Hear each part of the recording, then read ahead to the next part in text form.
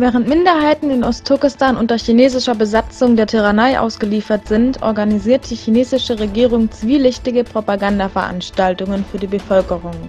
Ganz in diesem Sinne porträtierte eine Theateraufführung in Kashgar die chinesischen Soldaten als Wohltäter und die Uiguren des Stücks, dargestellt in Landestrachten, bekamen die Rolle des Terroristen zugeschrieben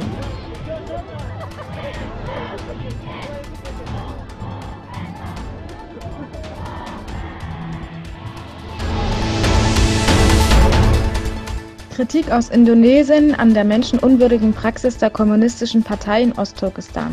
In einer Mitteilung verkündete Jasuli Jowalny, indonesischer Präsident der Abgeordneten, dass die ungerechte Behandlung der Uiguren nicht hinnehmbar sei.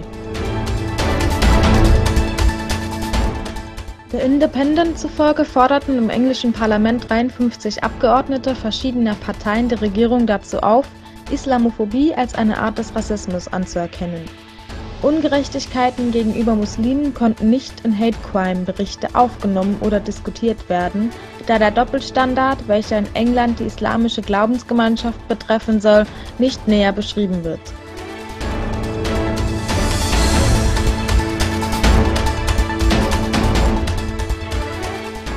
In Brüssel fanden sich aufgrund des kürzlich unterzeichneten Migrationspakts tausende Menschen ein, die gegen den Beschluss protestierten der Pakt wurde in Marrakesch von den meisten UN-Staaten angenommen, ausgenommen der Vereinigten Staaten und anderer Länder.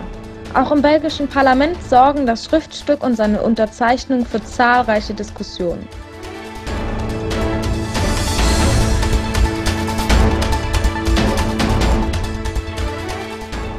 Sieben Zivilisten verloren gestern in den unter indischer Kontrolle stehenden Regionen Jammu und Kaschmir ihr Leben bei Demonstrationen. Im Zuge einer militärischen Operation in einem Dorf in Jammu und Kaschmir wurde nach dem Tod von drei Widerstandskämpfern eine Welle von Protesten ausgelöst und der Generalstreik ausgerufen